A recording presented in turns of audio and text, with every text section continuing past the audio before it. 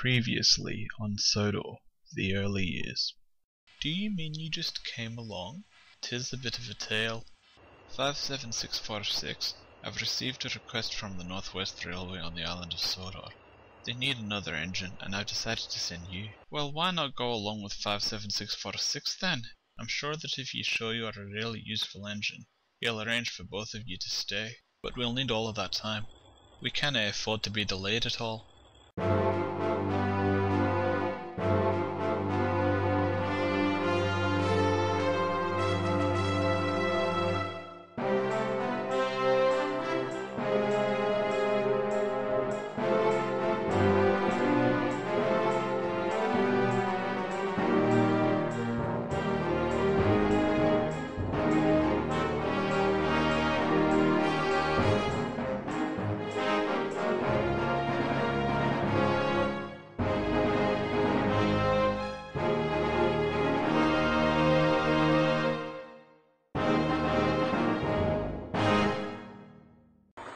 I had made my plan to join Donald on his trip to Sodor.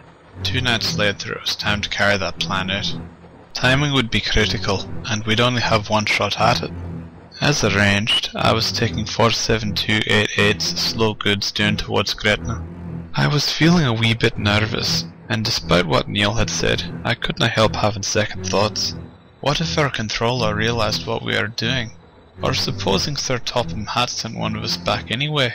It was only beginning to dawn on me how much of a risk I was actually taking, but it was too late to turn back now. I soon reached the first siding I was due to stop at. I quickly shunted my brake van out of the way and set out the last two trucks on my train. After collecting the brake van, I headed for the main line, only to be stopped by the station master. For a horrifying moment, I thought I'd been found out. Is there something wrong? I asked, managing to keep a straight face. The night mail's been delayed, he replied. You're to wait here until it passes. Do you ken how long that will be? I asked anxiously. If we are delayed too long, we wouldn't have time to paint over my numbers. It'll be by in about ten minutes or so, replied the station master. He returned to the station a moment later. But this is the last thing we need, I said nervously. If I was to get to Sodor, I'd need to paint over my cab numbers before I joined Donald. That way, no one would know where I was. Dinna fash yourself, replied my driver. We'll just make up the time on the way. Aye, I replied. After a few more uncomfortable minutes, the night mail blasted past. We'd been significantly delayed by this point, and I was beginning to doubt whether we'd be able to reach Sodor or not. After a few more minutes, I was cleared to proceed out onto the main line. I knew I'd have to hurry. The rest of the run went smoothly, and I managed to make up a wee bit of time along the way. I eventually reached my last stop and shunted my last few trucks. While my driver spoke to the station master, my fireman got out the two tins of black paint they'd brought with them in my cab.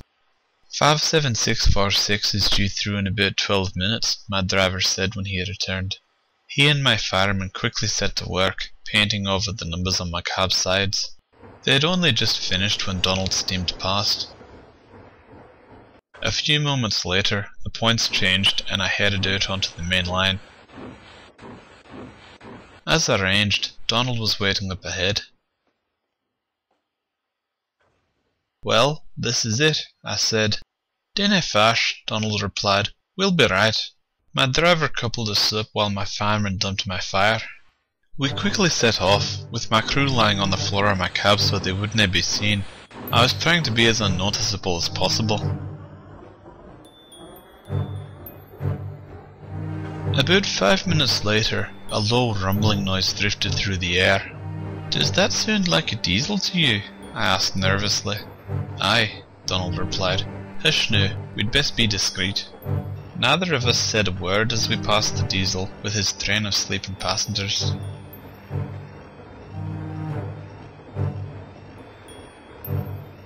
But as we approached Barrow in Furness, we realised he hadn't raised the alarm. I'd noticed he'd been from the London Midland region, so maybe he just didn't ken who we were. A moment later, something else occurred to me. 57646, I said.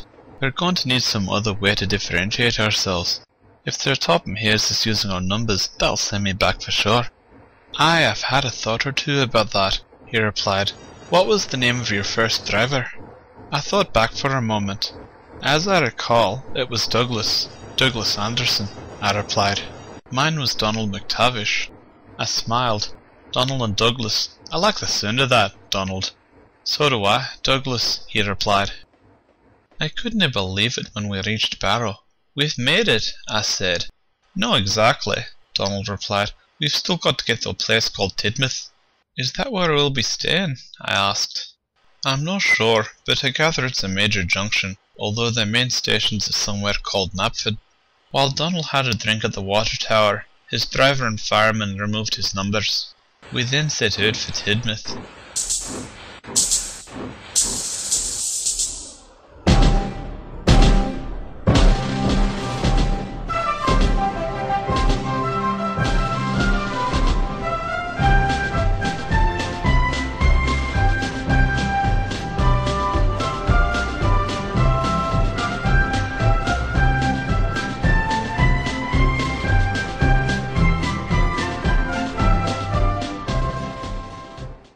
Twas just on sunrise when we reached Tidmouth.